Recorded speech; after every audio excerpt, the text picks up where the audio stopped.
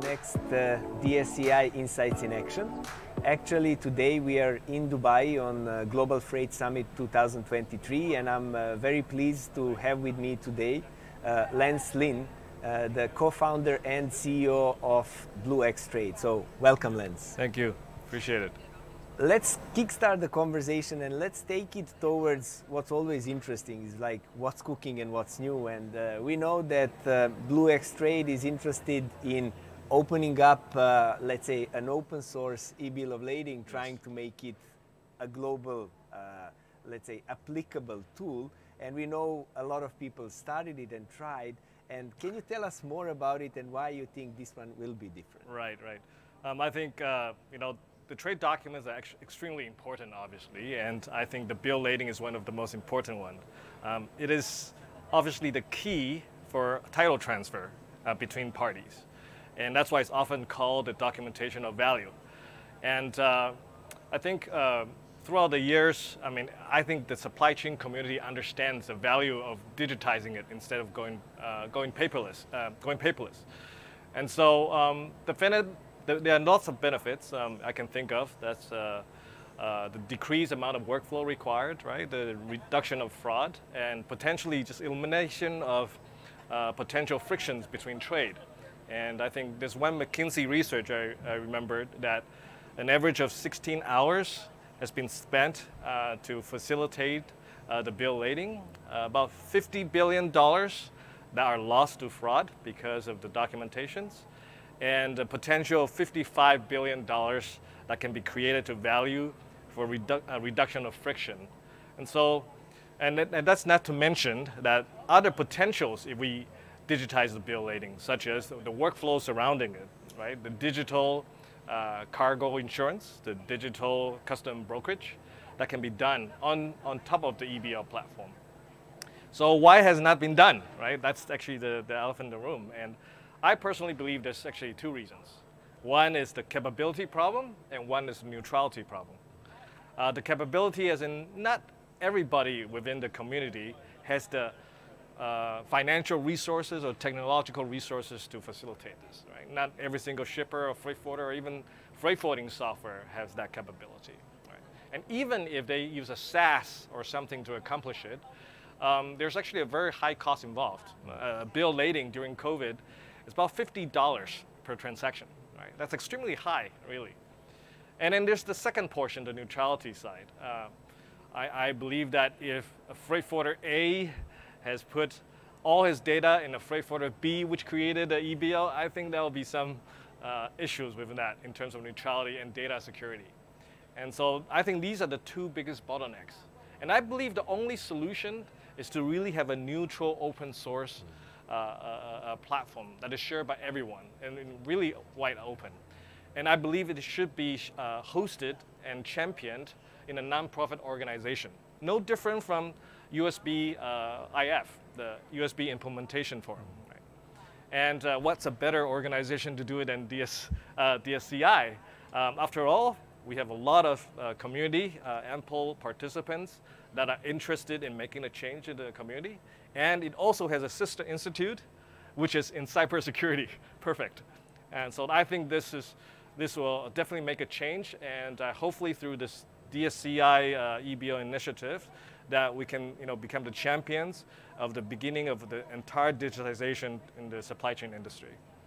Thank you very much, Lance. I think it's a very uh, inspirational goal. You know, joining forces is something which can uh, help accelerate global trade and especially give small and medium-sized enterprises yes. a chance to uh, compete and you know go forward is always a, a great thing ahead right, of us. Right, right.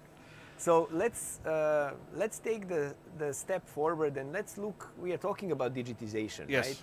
part of digitization is always connected with AI, the power of AI. So you know what's what's happening with AI and its application in supply chain. So how do you see the power of AI uh, building up on what BlueX Trade is working? Sure, I, I, think um, AI and in particularly generative AI is extremely important in the supply chain world. Um, our industry, the supply chain community, is known for its lack of standards, right? Not only for the documentation exchange, but also for the uh, uh, data, uh, data standards within the documents, right? Most companies has a legacy systems. I know various carriers still use FTP and EDIs. And um, that's very human intensive uh, in terms of human intervention, labor intensive, and not to you know, mention that um, there's a lot of uh, uh real-time information cannot be communicated uh, within these different systems, right? And that's why so many people love Excel, as we talked about yesterday. And that's not really the tool for the future. And so I think uh, generative AI uh, has a capability to actually interpret a lot of data, right? It has two advantages. One, it comprehends the data from different sources very well, different documents very well. And second, it facilitates the translation in real time. So it allows the different legacy systems to communicate extremely quickly without a standard opened uh, uh, uh, documentation. Um, and so we can use this as a tool before uh, system standards are established, such as EBL, as we mentioned earlier. and, uh, and so uh, one thing that uh, BlueX is that we are heavily invested both in generative AI and traditional AI. And the reason is that without the standards such as EBL right now, we have to use generative AIs to read the documents, uh, all the processing documents, the invoices, the bill ladings, uh, the packing list uh, using generative AI from different sources, different vendors, different carriers, and so forth. And that will be complemented by traditional AI to do fraud checks within existing systems. And by doing so, we can ensure that all our transactions, uh, all the KYC and KYBs are, are secure.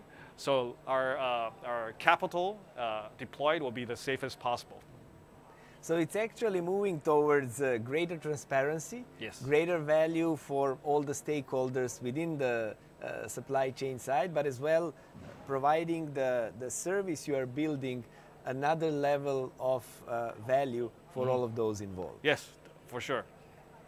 So Lance, tell us a little bit more uh, about the collaboration and cooperation with the DSCI members. How Blue, uh, BlueX Trade is actually, you know, living through it and through the community which DSCI has built. I think it's always interesting to learn uh, how the, the members are engaging together and on the other side how they build value towards what their goals are because every single member has a different focus in that sense but on the other side combining goal together gives a, a bigger puzzle. So we always ask these questions in a sense right, of right. sharing the experience. And actually, I'm actually really surprised. Uh, you know, this is one of the few organizations within the industry that is really open for change.